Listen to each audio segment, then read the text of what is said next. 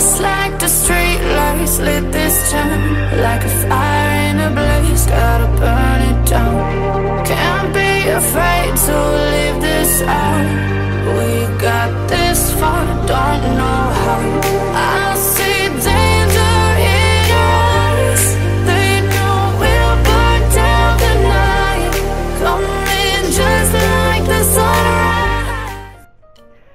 Selamat datang lagi di AVFG dan yap kali ini kembali lagi memainkan series Manchester United Master League PES 2020 dan akhirnya setelah ya kira-kira dari hari Senin berarti ya sampai hari ini hari ah, hari apa? Aku upload hari Jumat ya. Jadi ini pertama kali ini kita memainkan lagi series Master League atau Career Mode walaupun sebenarnya ini emang pas untuk jadwalnya Master League sih cuma biasanya kita mulai itu hari Kamis tapi ini mulainya hari Jumat karena ya kalian yang juga ikutin terus channel ini pastinya tahu ada online match lawan Bang Kulhak di mana itu aku sama Bang Kulhak mainnya tiap hari gitu. Dan so jadi untuk melanjutkan lagi series kita ini yaitu Master League ini sebenarnya rencananya aku mau ini sih untuk pertandingan ini. Nah ini yang FIFA Club World Cup Final tuh aku maunya rencananya itu di hari ini selesainya hari apa? Hari Minggu gitu. Jadi kita punya waktu tiga hari itu kan. Tiga harinya biasanya kita pakai untuk series Leicester City tuh. Nah jadi untuk hari tiga untuk tiga hari itu itu persiapan untuk ini ngasihkan logo ke jersey-nya kan rencananya juga aku udah bilang kalau kita menang FIFA Club World Cup Final kita akan pakai emblem juara dunia gitu di dada nanti. Tapi ya jadi aku masih bingung nih ngatur caranya gimana. Tapi yang pasti untuk episode kali ini kita akan memainkan dua pertandingan. Dan yang pertama ini jadi so langsung aja kita masuk ke pertandingan antara Manchester United berhadapan melawan Nantes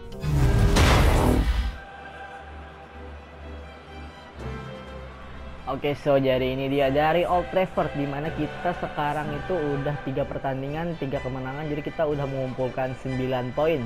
Dan kalau misalkan kita menang lawan Nantes, ini kalau nggak salah Nantes itu berada di peringkat ketiga, jadi otomatis Nantes 0 poin kalau misalkan kita mengalahkan mereka. Jadi total poin kita nanti 12 yang artinya Nantes nggak bakal lagi bisa ngejar kita dan kita dipastikan jadi apa namanya pokoknya lolos lah ke babak selanjutnya. Tapi untuk Atletico Madrid yang berada di peringkat kedua itu posisinya belum aman karena Nantes pastinya masih bisa atau masih punya peluang untuk ya paling nggak imbang gitu poinnya sama dengan si Atletico Madrid. Tapi ya kalau misalkan kita berhasil menang di sini itu artinya satu tempat di babak 16 besar nanti untuk kita. Entah dari statusnya sebagai juara grup atau runner up grup pastinya kita lolos ya apalagi kita udah punya berarti 9 poin ya? Dan 9 poin pastinya juga cukup sulit untuk dikejar tim-tim yang ada di bawah kita yaitu di peringkat 3 dan untuk starting line up-nya kurang lebih kayak gini. Agak rotasi sih karena di pertandingan selanjutnya kita akan berhadapan melawan Liverpool. Nah itu kan jadi mungkin kalian juga udah ngeliat tadi pas kita masuk ke menu di Master League itu jadwalnya setelah lawan Nantes ada dua, dua pertandingan di Premier League yaitu duo Merseyside. Yang pertama di episode ini kita akan berhadapan melawan Liverpool terus di episode selanjutnya lawan Everton. Nanti nanti pasti aku akalin supaya kita bisa main di FIFA Club World Cup Final itu tepat pada hari Minggu ya. Semoga aja bisa. Dan so langsung aja kita mulai. Kick off babak pertama pertandingan UCL Oke Daniel James sekarang Ikan umpan ke Paul Pogba. Waduh, terlalu ini. Terlalu buru-buru Pogba sayang kita lihat lagi tayangan ulangnya. Bagus sih udah umpan dari ini si Daniel James. Tapi tendangan dari Paul Pogba terkesannya terburu-buru. Oke, Blas. Oke, double teammate langsung ngepres. Marcus Rashford coba syuting kena tiang. Oke.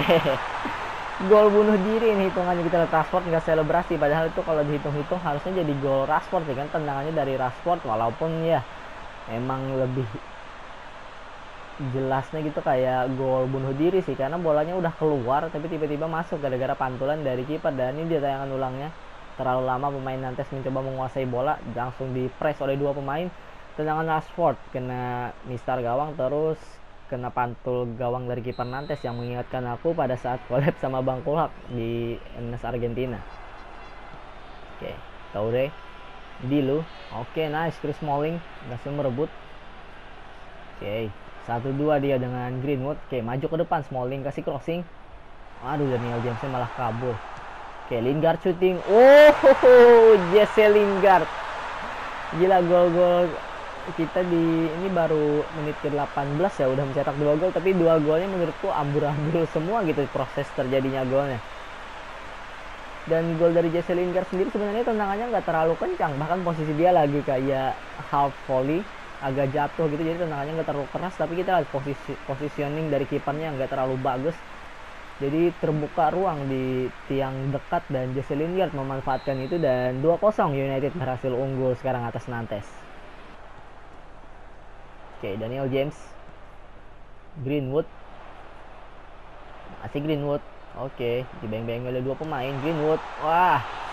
Nggak terlalu kesudut tendangannya juga nggak terlalu keras tadi dari Mason Greenwood. Wan Bisaka.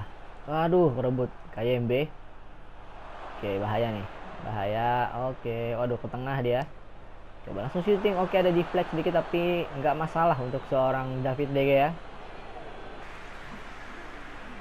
Lotin. Oke, bahaya di menit-menit terakhir ini. Ya, eh, Smaling, Smaling. Aduh. Ah, itu kan. Ini nih Smalling entah kenapa ya. Jadi mungkin karena overall ratingnya yang rendah jadi tingkat kecerdasannya itu enggak nggak tinggi juga gitu kita lihat dia malah ngikutin pemain yang ini yang nggak megang bola tidak sekali kita yang ulangannya nah tuh Padahal dia yang harusnya nutup ini, yang cetak gol. Oh, Smalling. Padahal kalau misalkan satu lawan satu, Smalling masih bisa lah gitu. Tapi untuk kecerdasannya itu loh. Smalling agak kurang banget dia malah nge ngejaga pemain yang gak bawa bola gitu. Sedangkan yang pemain bawa bola dengan mudahnya dia berhadapan satu lawan satu dengan David De dan so 2-1 dan ternyata kita kalah dari ball pos secara dari angka ball possession ya. 48 berbanding 52 dan oke okay, so ini semoga di babak kedua permainan kita jauh lebih baik ketimbang di babak pertama tadi. Oke okay, James Rodriguez. Ikan ke Mark Rashford masih Rashford. Cut inside wah! Mau shooting tapi di tackle. Oke okay, Aryan nice Daniel James. Oke okay, ke Marcus Rashford Through ball ke Mason Greenwood. Nah, ini dia peluang Mason Greenwood. Coba langsung shooting. Greenwood 3-1 Manchester United. Boleh juga, boleh juga. Greenwood buat kalian yang belum tahu di musim pertama kan top skornya kalau nggak salah si Marcus Rashford ya. Terus top skor kedua kita ternyata si Mason Greenwood. Tapi sayangnya di musim kedua dan musim ketiga performanya agak cukup menurun di mana kita mendatangkan Ronaldo di musim kedua jadi menit dia untuk bermain jadi starter itu agak kurang. Apalagi di musim ketiga nih. Ibaratnya kalau misalkan kita pakai satu striker dia pastinya jadi pilihan keempat. Secara dari overall rating dia paling rendah. Untungnya kita main pakai dua striker jadi kemungkinan dia untuk bermain cukup banyak gitu di musim ketiga kali ini. Oke, pergantian pemain sekarang Erling Haaland akan masuk menggantikan Greenwood dan Jadon Sancho masuk menggantikan Daniel James. Oke, bahaya sendirian Dabo. Oke, untungnya dua pemain langsung mengcover. Oke, bahaya kan inside dia shooting. Oke, untungnya bola reboundnya nggak tepat ke pemain Nantes lagi. Dan Sancho kasihkan ke Jesse Lingard. Astaga Lingard ngapain coba kontrol kayak gitu. Oke, bergantian pemain lagi Andres Pereira, pemain yang mencuri perhatian di International Champions Cup dan bermain cukup baik setelahnya. Ya, waduh bahaya. Kali Bali No, no. Oke, okay, good save lagi-lagi David Lege ya. Oke, okay, nice look show cukup tendang dia dan so jadi itu dia. Full time whistle 3-1 dan iya seperti yang aku bilang kalau misalkan kita menang kita lolos dan itu dia ekspresi bahagia pemain-pemain United setelah memastikan diri lolos walaupun belum pasti jadi juara grup ya tapi paling enggak lolos itu adalah suatu pencapaian yang baik gitu di mana kita bermain di Old Trafford dan kita membuat supporter kita bangga. Jadi target kita seperti biasa UCL jadi berstatuskan juara bertahan kita jadi pastinya tantangannya akan jadi lebih berat. Walaupun sebenarnya skuad kita jauh lebih baik ketimbang musim lalu jadi aku pede sih untuk membawa pulang kembali trofi si kuping besar dan Mason Greenwood ternyata jadi man of the match pada pertandingan tadi padahal Greenwood mainnya nggak full 90 menit tapi dia jadi man of the match dengan rating 7,5 menarik menarik menarik. Boleh juga nih si Greenwood. Walaupun posisi dia ibaratnya seperti yang aku bilang striker keempat gitu. Dan so jadi ini dia di match day keempat yang udah memastikan lolos itu Manchester United ya. Terus untuk grup lain aku agak susah nih ngitung-ngitungnya karena waktunya terbatas Rangers. Oke Rangers kayaknya belum aman sih. Iya belum aman untuk Rangers karena Basel masih bisa dapat 6 poin. Untuk Barca Barca juga masih belum aman. Liverpool dan Olympic Lyon sama-sama 6 poin. Manchester nah kalau Manchester City udah aman sama kayak kita persis. Terus Bayern Munchen aman kayaknya. PSG belum aman Napoli apalagi. Inter Milan juga belum aman. Chelsea dan Juventus. Nah ini untuk Chelsea dan Juventus aman kedua-duanya nih. Karena peringkat tiganya 3 poin. Jadi kalau misalkan peringkat tiga itu menang dua laga berturut-turut berapa poinnya? Cuma 9 sedangkan Chelsea dan Juventus sudah sama-sama 10 jadi kedua tim itu sudah dipastikan lolos. Oke menarik juga kedua tim ini.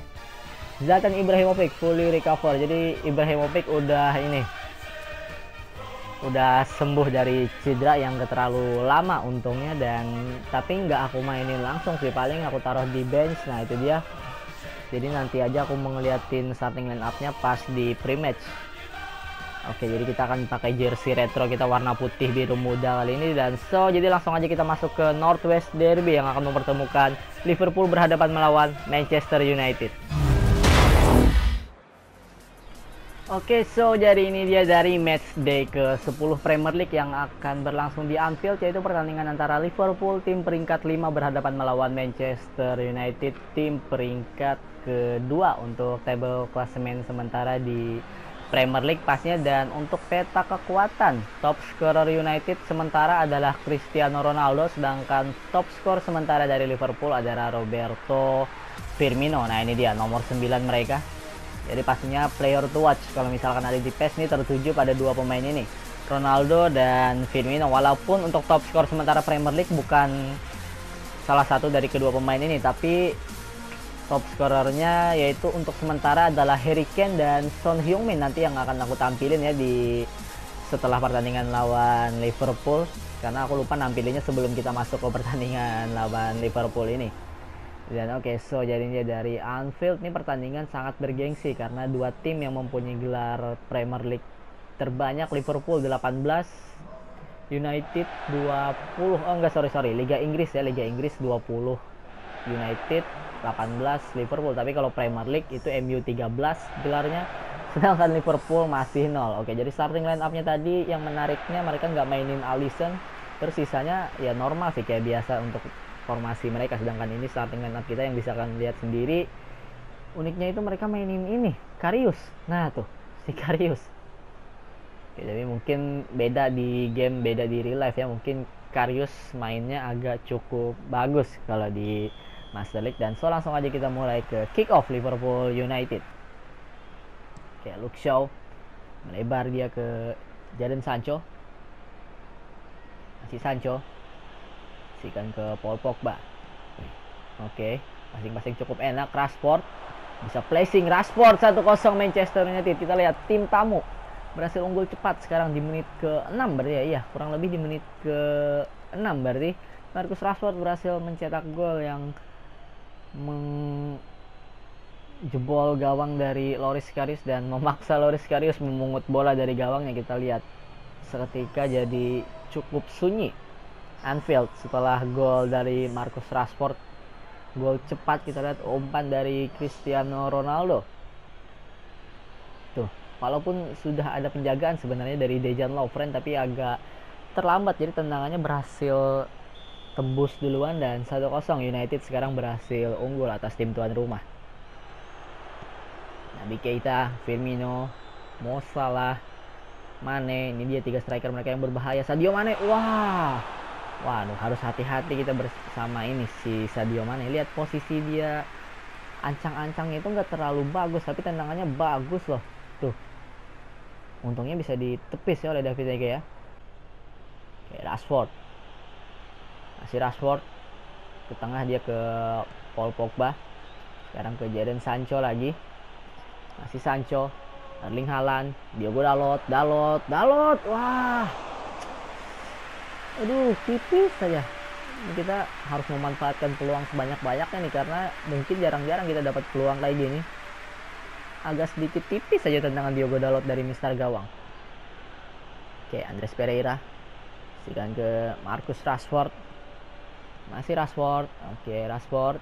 Lebar ke Jadon Sancho. Nah ini peluang. Ada Erling Haaland di tengah. Erling Haaland shooting kaki kanan. Erling Haaland 2-0 kita lihat belum ada perlawanan gitu dari Liverpool udah 2-0 aja kita unggul di menit ke 23 dan gol yang enak sebenarnya dari Erling Haaland memanfaatkan umpan dari Jadon Sancho kita lihat kesalahan dari lini bertahan Liverpool membuat ada space kosong di tengah walaupun sebenarnya lagi-lagi ada Dejan Lovren yang harusnya bisa mengantisipasi tapi gagal dia dan 2-0 sekarang United berhasil unggul.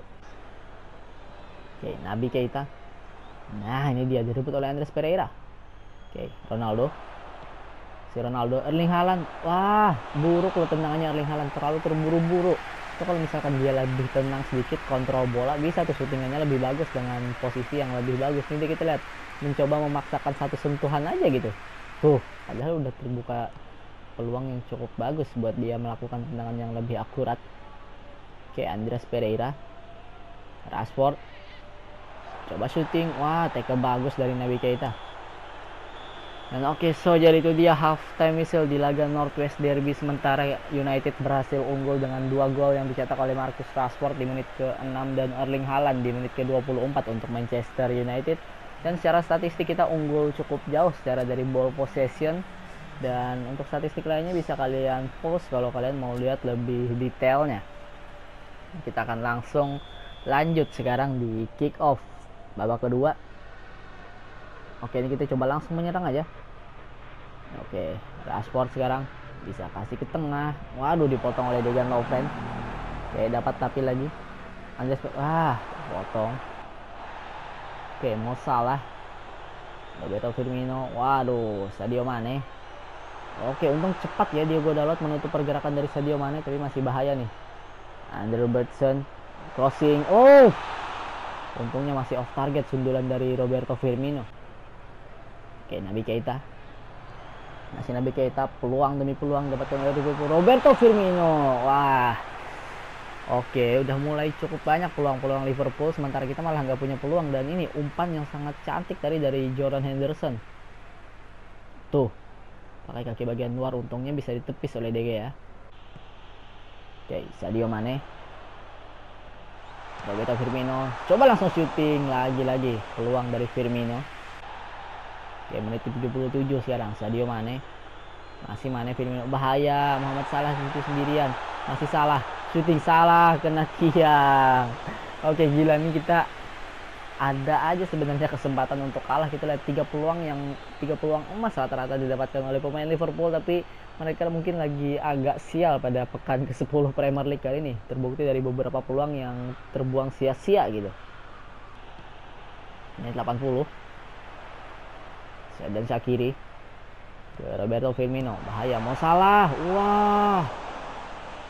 Entah dapat hoki apa kita ini di babak kedua mungkin Liverpool sih yang lebih dapat hoki punya banyak peluang tapi untungnya nggak ada yang jadi gol. Dan ini yang terakhir yang paling nyaris saja dari Mo Salah. Tendangan kerasnya masih off target untungnya dari gawang David De Gea. Oke menit 84 Sedan Shakiri oke serangan lagi dari pemain Liverpool. Waduh bahaya. Mane. Oke untungnya ada Harry Maguire yang ngeblok tadi. Sergio Sergio Mane lagi Sergio Mane gagal mencetak gol. Menit 89 giliran United nih menyerang oke Rashford sekarang masih ke menit-menit terakhir. Dibayang-bayangi oleh Virgil van Dijk. Masih ke tengah Erling Haaland. Nah bisa shooting kaki. Wah! Dipotong tadi oleh Fabinho. Oke ini serangan lagi dari Liverpool. Paling kayak memperkecil kedudukan kata Liverpool. Waduh gila bola terobolnya DG ya lagi lagi dong gila. Bisa saja jadi man of the match DG dan sejadi itu dia full time whistle. 0-2 tim tamu berhasil meraih kemenangan atas tim tuan rumah dengan dua gol yang tadi bersarang di, di babak pertama. Rashford dan Erling Haaland di menit ke-6 dan 24 dan jujur harusnya Liverpool bisa mencetak gol. Dan selain bisa mencetak gol Liverpool layak menang sih menurutku. Karena mereka punya banyak peluang bisa kalian lihat sendiri. 8 shot berbanding 4 tapi untungnya penampilan yang sangat impresif. Dari David De Gea berhasil menyelamatkan gawang kita clean sheet bahkan lah 2-0 dan sebenarnya skor 2-0 juga skor yang gak terlalu layak untuk diterima gitu untuk kubu Liverpool di mana secara permainan mereka jauh lebih baik ya ketimbang kita tapi lebih tepatnya pas di babak kedua. Tapi ya dengan kemenangan 2-0 ini mendekatkan jarak kita sih nggak mendekatkan sih menempel terus lebih tepatnya Manchester City. Karena ini dia kita lihat dari matchday ke-10 Arsenal 1-0 Tottenham juga menang tadi terus Manchester City 1-0 nah jadi mereka poinnya masih sama aja kalau misalnya kita juga menang. Chelsea juga menang 1-0 dan iya untuk sementara kita masih tertinggal 6 poin berarti dari Manchester City yang berada di puncak klasemen dan oke okay, untuk Liverpool mereka ada di peringkat ke 5 berarti ya. Dengan hasil tadi nggak ada membawa perubahan sedikit tapi jadinya oh Chelsea. Wah Chelsea ada di peringkat ke-7 ternyata. Peringkat 6 nya malah Brighton and Hove Albion. Jadi di matchday ke-10 tadi semua tim yang tim Big Six nya berhasil meraih kemenangan kecuali Liverpool. Karena Liverpool ketemu kita kita menang gitu dan oke. Okay, jadi untuk episode selanjutnya masih bingung aku mau menentuin gimana tepatnya. Karena rencananya aku juga mau ini kan mau ngepasin supaya nanti kita itu ini main di FIFA Club World Cup final di akhir pekan gitu dan so jadi ini dia daftar top score yang kataku mau aku lihat liatin tadi Ronaldo 6 gol terus untuk Liverpool Roberto Firmino 5 gol tapi untuk sementara top score Premier League dipegang oleh Harry Kane dengan 9 gol terus ada Son Heung-min dengan 7 gol. Di bawah kita Ronaldo itu ada Niklas Pepe yang sama-sama berhasil meraih 6 gol. Terus untuk top skor kita ada Erling Haaland dan Zlatan Ibrahimovic yang juga ikut ke dalam daftar top skor Premier League dengan masing-masing berhasil mencetak 4 gol. Jadi iya. Karena kita punya banyak striker jadi nggak tertuju pada satu pemain gitu. Beda dengan oh kalau UCL justru nggak ada Ronaldo ya Greenwood dan Haaland masing-masing dua gol. Tapi top skornya adalah Gonzalo Higuain dan Robert Lewandowski dengan 5 gol.